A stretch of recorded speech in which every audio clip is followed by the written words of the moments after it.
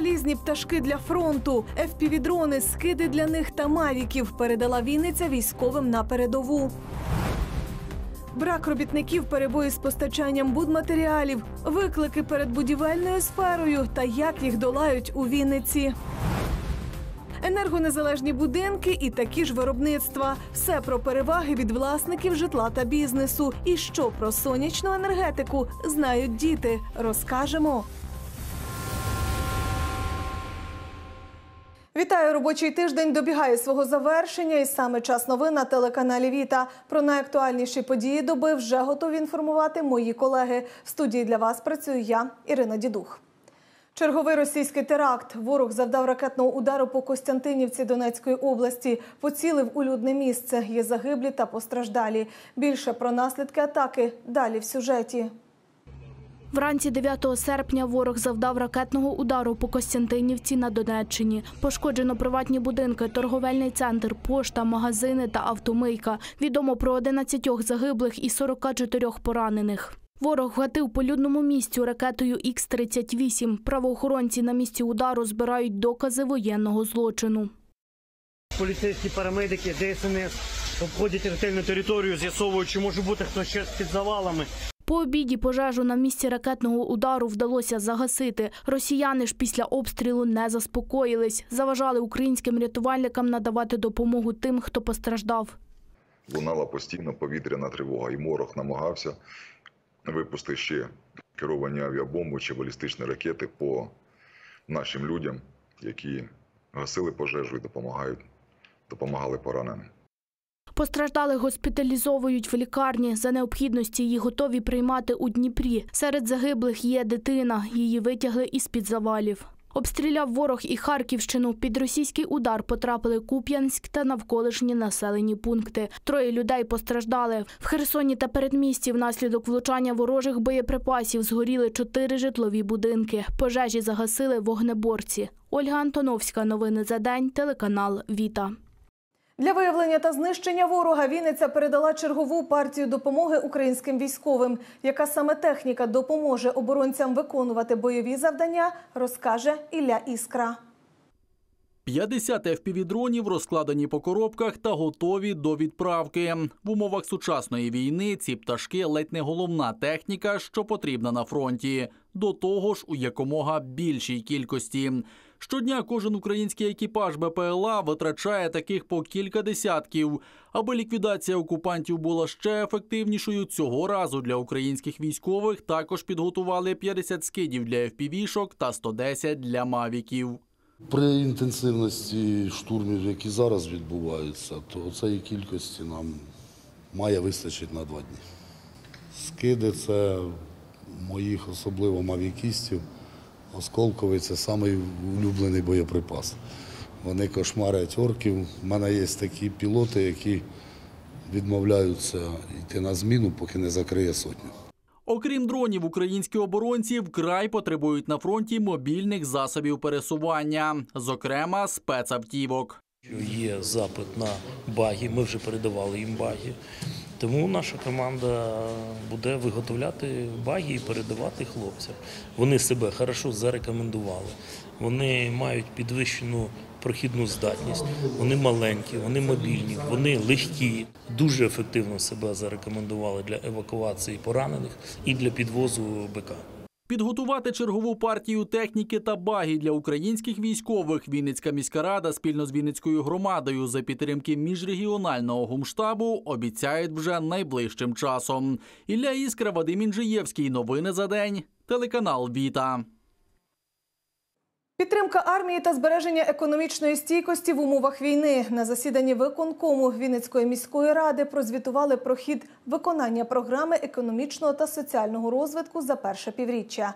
Як повідомив директор департаменту економіки та інвестицій Максим Мартьянов, Вінниця очолює рейтинг міст обласного значення з найбільшою часткою виділених коштів на підтримку сил безпеки та оборони, соціальну підтримку захисників та захисниць, членів їхніх сімей та родин загиблих. Що становить понад 15,1% від власних доходів бюджету, отриманих в першому кварталі цього року. Щодо місцевого бізнесу, тут відзначили ріст промислового сектору, який за 5 місяців реалізував продукції на понад 18 мільйонів гривень, що на 18% більше аніж торік.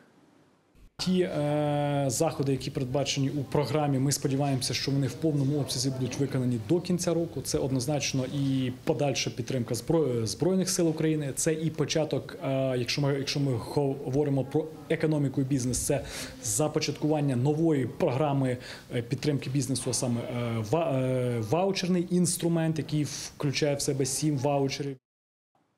Будинки, школи, лікарні, офіси. А після повномасштабного вторгнення РФ ще й укриття та бомбосховища. 11 серпня вітання приймають будівельники. Вони не лише зводять помешкання, але й відбудовують країну. Напередодні професійного свята ми дізнались, в яких умовах працюють та з якими викликами справляються щодня. Максим Дереш у будівельній справі 8 років. Після закінчення Вінницького технічного університету 2016-го, каже, міг будувати і мости, і комерційні об'єкти та вирішив зводити житлові багатоповерхівки. Мені це подобається, коли ти бачиш е, плоди своєї роботи, тобі за них не стидно. Дуже поважна професія, яка створює, а не руйнує. Тобто, це, на, мій погляд, дуже потрібна в нинішній час професія. У стосі паперів у його руках перелік багатьох видів робіт, які виконують його підлеглі. Аби звести 9 поверхів муніципальної багатоповерхівки, спершу потрібно було підготувати будмайданчик, забурити палі, аби фундамент був стійким і надійним. Далі зведення коробки. Її виконали за монолітно-каркасною технологією. Він набагато міцніший, ніж ті самі панельки. Е, Будинки з збірної технології, скажімо так, да, там, де використовується тільки цегла і плити перекриття. Е, Як показала практика, е, на жаль чи на щастя, е, монолітні каркасні будинки тримають удар набагато краще, ніж будинки, які були зведені з, по старій технології. Кипить робота й на будівництві Вінницького інноваційно-технологічного парку Кристал. Зводити комерційні приміщення, розповідає начальник виробничого відділу будівельної компанії Юрій Ганущак, куди складніше аніж житлові. Тут на кожному поверсі до кожного приміщення у замовника свої вимоги. Наприклад, на цьому об'єкті перший поверх облаштували пандусами, аби було комфортно людям з інвалідністю. На кожному поверсі передбачено інклюзивний санвузол з певною шириною дверей для того, щоб людина на кріслі колісному могла скористатися е, санвузлом. Також е, тут розміщено е, так. Санітарні прилади для того, щоб вона могла вільно під'їхати до них, також це саме вільно могла об'їхати їх. Багато денного світла у кімнатах, кондиціонування і нестандартне рішення з вікнами. Вони відкриваються назовні. Тут використовують усі сучасні підходи до будівництва. У будівлі будуть офісні приміщення. Аби працівникам було зручно переносити розетки та вимикачі під техніку, електропроводку зробили відкритою. Ми максимально дотримуємося всіх норм, які е, зараз вийшли, якщо ви знаєте, е, по інклюзивності, по утепленню будівель для того, щоб е, цей самий для того, щоб була певна економія на енергоносіях. Також ви бачили, у нас встановлено ІТП для опалення, яке тут реалізовано повітряне та водяне комбіноване опалення. Так само ви бачили електрощитова. Вона тут також нова і буде новий ввод електроенергії. Відключення електроенергії, труднощі з доставкою будматеріалів та критична нестача робітників. Виклики, попри які будівельники щодня зводять нові об'єкти, відбудовують пошкоджені будівлі, будують укриття та бомбосховища. Напередодні дня будівельника, який цьогоріч відзначають 11 серпня, у міській раді відзначили кращих працівників галузі. Коли потрібно було відновлювати наші заклади освіти, будувати фортифікаційні споруди, найпростіші укриття. І коли ми зібрали всіх підрядників і проєктантів, спочатку було якесь таке непорозуміння. Ми не розуміли, буде фінансування, не буде. Але ви все ж таки, ми разом з вами зібралися, ви нас підтримали. Ми відповідно підтримали вас і маємо гарний результат. Тобто всі заклади освіти е, мають облаштовані найпростіші укриття. Сьогодні будуємо протирадіаційні укриття. Олександр Дубина зварювальником працює майже 14 років. Півтора року чоловік боронив Україну, а тепер знову повернувся до роботи. То ну, на теж не кожному дано, що це воно бути. Хто вміє робити, хто не вміє. Це треба вчитися, все треба. Щоб рука навчилася, набилася. З нагоди свята нагородили 10 працівників будівельної галузі. Олена Карпівська, Володимир Гірявенко. Новини за день. Телеканал Віта. Енергетична незалежність починається з енергетичної свідомості. Змінити погляди на споживче ставлення до енергоресурсів нас змушують світові тенденції та складна ситуація в країні. Відключення світла, неможливість елементарно приготувати їжу чи випрати речі стали надто болісними. Відтак на дахах будинків все більше з'являється сонячних панелей. Проте для чого вони знають навіть діти. А це вже говорить про зміну свідомості. Із цілком серйозним запитанням про сонячні панелі ми прийшли до діток 35-го Вінницького садочку. Показали їм фото сонячної електростанції і зупинити малечу, яка на випередки розказувала про використання енергії сонця, було складно. що забруднюють природу. І, і їхній найбільший виробник це Китай. І, і взимку вони розробляють електрики мало, бо того взимку мало сонця, а, а влітку більше електрики вони виробляють, бо того влітку найбільше сонця. Хто тобі про це розказував? Папа. Сонячні панелі встановлюють на дахах будинка, е, дворі, на полі, на городі, А для чого вони потрібні? щоб була електрика, коли нема світла. Вони дають нам енергію, щоб дивитися мультики і грятися. А коли сонце не світить, то енергія закінчається.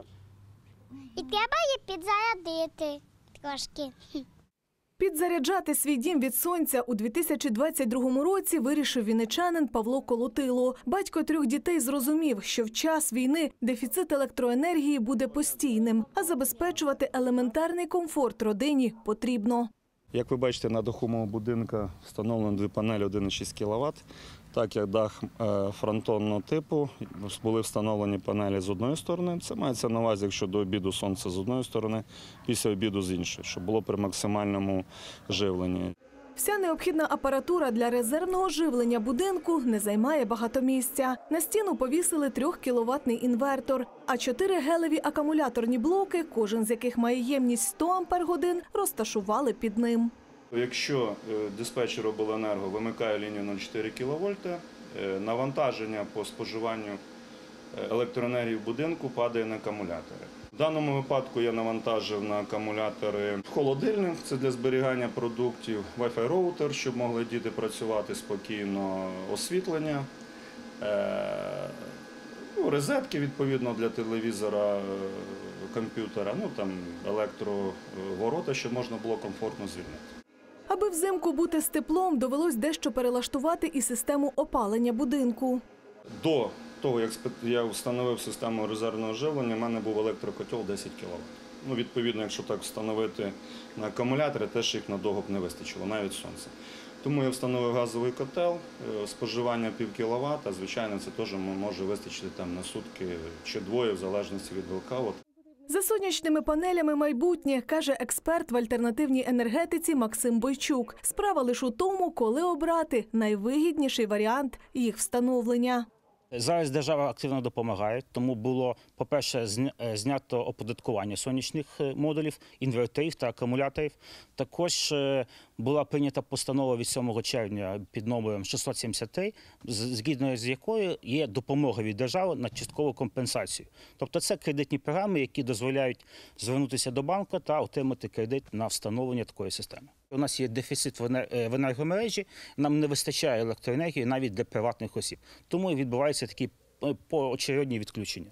Е, Наприклад, якщо у вас є станція з акумуляторними батареями, ви можете за рахунок сонячних модулів накопичити електроенергію і потім ввечері їх споживати.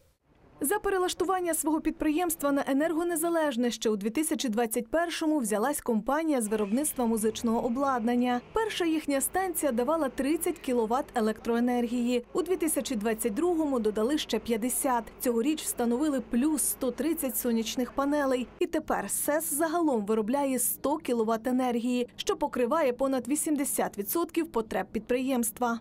Ми почали будувати все ще коли комерційний тариф був 3,84. На сьогоднішній день комерційний тариф 9 гривень.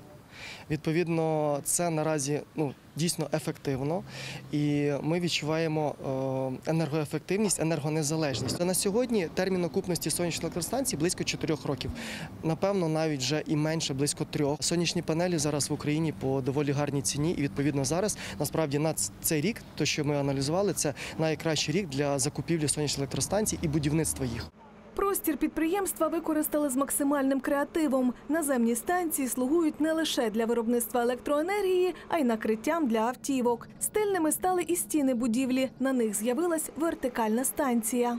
Коли є потреба додати сонячного поля, а відсутня вже е, наявність місця на даху. Тобто вирішенням було б цієї проблеми це просто добудова сонячної електростанції на відповідно на стіні, так званої вертикальної. В неї коефіцієнт ефективної дії значно менший, там близько 70-60%, але це можна компенсувати шляхом збільшення кількості панелей.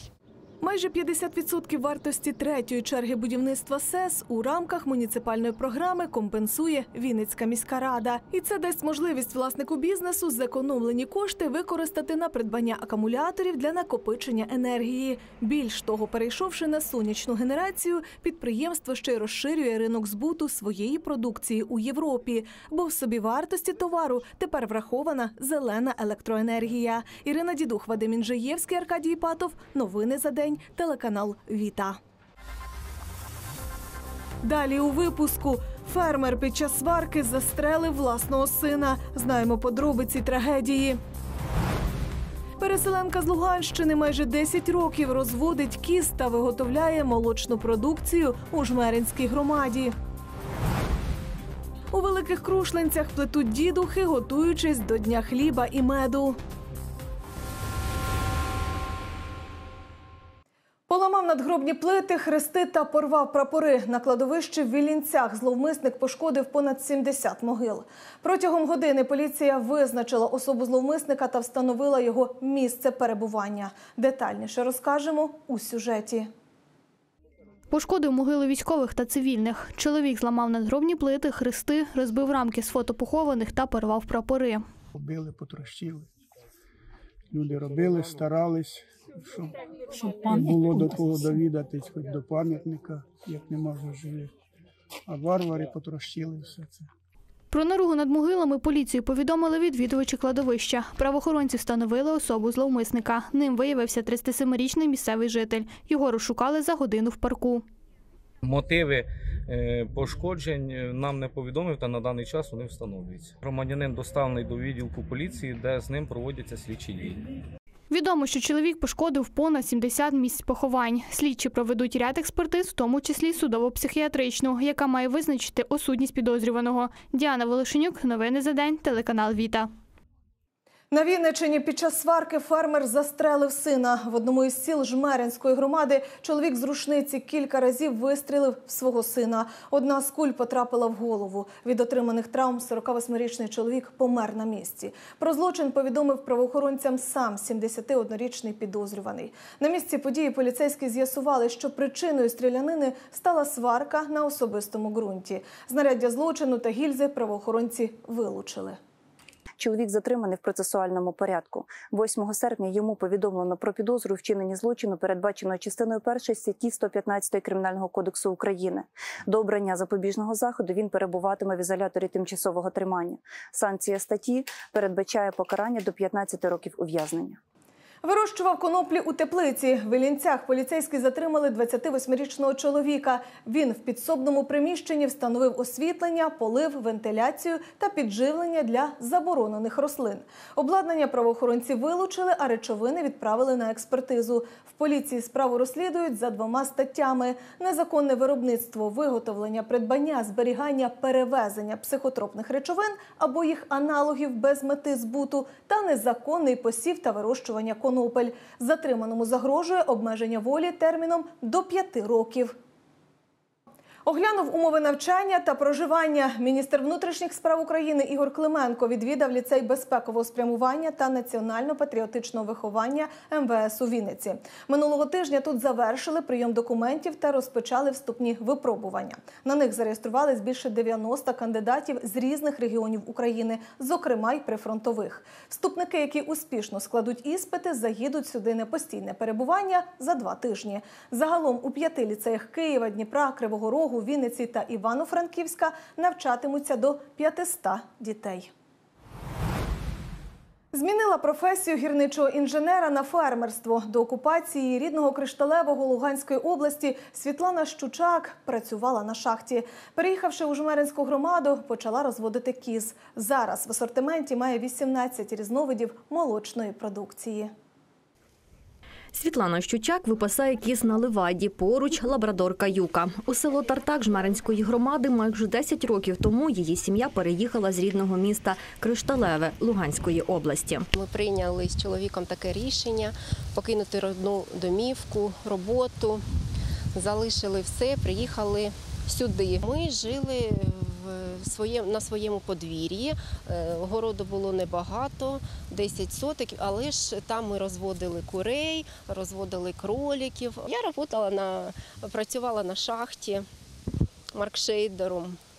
Майже 11 років у мене підземного стажу. Те, що професію гірничого інженера змінить на фермерство, й уявити не могла. Сусідка Валя запропонувала нам козу. Вона тримала кіз, запропонувала козу і взяли козу. Це була одна Марта. Потім через пару років було ще дві кози докупили. Нині в отарі 19 тварин. Кожна має свою кличку. Випасає їх донечка Марійка. Світлана каже, якщо з долини чути гучний сміх дівчинки, то вона їздить верхи на козах. Марійка дуже допомагає. Вона пасе кіз, вона на дойки мені допомагає. Пасуть кіз двічі на день, вранці і ввечері по годині півтори. Світлані достатньо їх гукнути, і вони слухняно ідуть за нею до обори. У лабрадорки Юки тим часом водні процедури. А Марійка поспішає до ще одних своїх підопічних. Час годувати пташенят перепілок. Їх у неї 34. Вони, коли голодні, зазвичай налітають на цей корм. Вони можуть і перевернути банку з водою, коли літають, і випити можуть багато. выпить много. Світлана ж іде доїти отару. Кожну козу господиня заводить до верстату, миє вим'я і починає доїти руками. Це треба, аби здоїти трохи молока, бо далі жінка буде підключати доїльний апарат. Його попередньо промиває водою. Машини доїння полегшує роботу Світлані та й так отримує чисте молоко, яке потрібне для сироваріння. Її робочий день може тривати до 16 годин. З козячого молока Світлана виробляє 18 видів продукції. Тут і йогурти, і масло, і різні види сирів – м'яких, напівтвердих, витриманих і витяжних. З полутвердих альпійський е, з пажитником, такі головочки, альпійський з італійськими травами та томатами, альпійський чистий, отакий, альпійський з овочами. Потім є сир в кавовій скоринці. Це мармуровий з полутвердих. е, Тут анато додавлений, витяжка з тропічного дерева. З м'яких сирів шевер в олії, кожен шарик в своїй спеції. З витяжних жінка виробляє сулугуні. Дуже слоїстий. Сулугуні копчений є. Самі коптимо на вішневій, на вішньовій щепі. Її шлях у сироварінні розпочався з кисломолочного сиру для Марійки. Пробувала сама робити. Це були тонни спорченого молока. Е, Ви бачили лабрадора нашого. Вона їла весь сир, Е, вчилась багато по книгам. Коли я зрозуміла, що знань дуже мало, це були курси. Курси в Києві закінчувала. Ну і практика. Дуже багато практики, сім років майже. Часом ідеї для нових рецептів підкидають самі покупці, щось шукає у книгах, а реалізує продукцію на місцевому ринку або ж покупці приїздять до неї додому. Олена Карбівська, Світлана Рогозіна. Новини за день. Телеканал Віта. Відновлюють старовинні українські традиції. У великих крушленцях Вінницької громади відвідувачі гуртка умілі руки роблять ляльки-мотанки та створюють унікальні іграшки. Цього разу під час майстер-класу дітям розповідали про дідуха та як саме його виготовляти. Про унікальні символи розкажемо в сюжеті. Під співи українських пісень перебирають колося. Відвідувачі гуртка умілі руки зібрались для того, аби зробити дідуха, якого презентують в день хлібу і меду. Прийшли як хлопці, так і дівчата. В сім'ї 14-річного Івана поколіннями зберігається традиція плетіння дідуха. Робила завжди прабабця і бабця робила. Брали колоски пшениці, сплетали дідуха. Дідух це снів з відбіркового зерна, що вирощує господар, а потім збирає його на початку та по закінченню жнив. До нього входять ячмінь, овес, пшениця та жито. Прикрашають його сухосвітами та лікарськими травами. Про українські народні традиції та створення дідуха дітям розповідали під час майстер-класу. Ніколи не знала, е, що таке дідух. І дуже мені сподобалось, що як розказувала Людмила Миколаївна про цей дідух, що його заміняє замість ялинки, що він такий получився красивий. Здавна дідух вважається духом Різдва, що символізує предків, продовження роду та родючість врожаю. Господар вносить його на Різдво до будинку. Він займає почесне місце на покуті поряд з кутею. Дідух зберігається протягом року, е, потім навесні його виносять, вимолочують, і це зерно мішають з тим зерном, яке мають засівати, для того, щоб добротне, щоб добротно заколосилася нива і щоб був гарний врожай. Також оце зерно згодовували худобі для того, щоб господар е, мав здорову сильну господу в своєму обійсті. Гурток працює понад 15 років у великих крушлинцях. На майстер-класах хлопці та дівчата роблять ляльки-мотанки, традиційні українські іграшки та навіть випікають. Так відновлюють та популяризують стародавні українські традиції. Діана Волошенюк, Світлана Рогозіна. Новини за день. Телеканал Віта.